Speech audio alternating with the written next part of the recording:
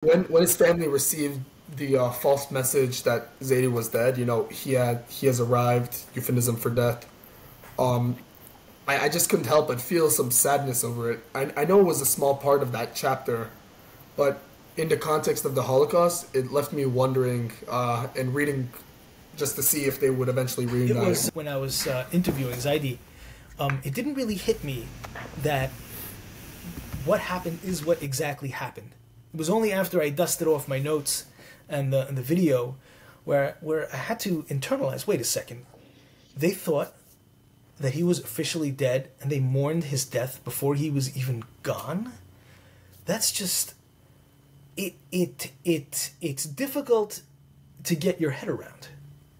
It really really is. It's it's almost like it's troubling um, um, to just to just uh, uh, contemplate what kind of a reality that is. Um, and again, I, I, I, try to describe the scene, his, his, his mother's reaction to his apparent death.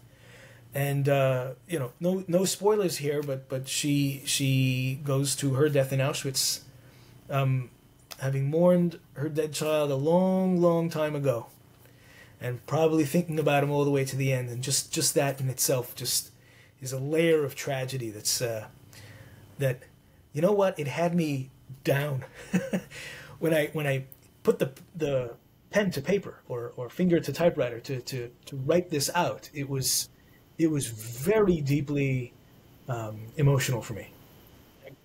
This part specifically, it really I cannot imagine uh, the circumstance. It, it, it, it feels like fiction, but but it wasn't. Unsettling, yeah.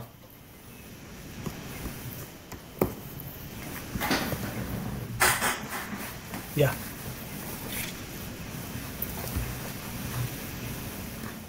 Yeah, mm-hmm. it, it was just really, and the fact that they weren't able to reunite after, I feel like was the saddest part because then there was no closure on that, other than you yeah. know a couple of the um, survivors.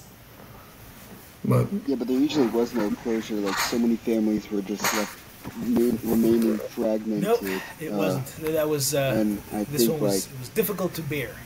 Like, there's, uh, there's a lot of like, hopeful parts of the book wanted, because my grandfather was striving for life and striving to survive and doing the best he could. But that is a thread um, that does not get tied up at all, uh, and is it's uh, it's a low part of the book to, to be sure, but but uh, part of the reality of the story.